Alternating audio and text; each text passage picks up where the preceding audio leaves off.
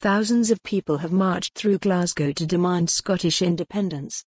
The All Under One banner, AUOB, march began in Kelvingrove Park and processed through the city centre towards Glasgow Green.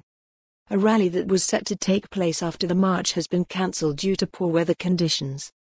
But independence supporters from across the country withstood the rain and wind to gather in Glasgow, despite widespread disruption to train and road networks. Organisers said 80,000 independence supporters took part, down from the 100,000 predicted by Glasgow City Council ahead of the event. Police had earlier warned of significant disruption and temporary road closures as a result of the march. Marchers carried saltires, EU flags and Yes banners as they walked through the city to the sound of drummers.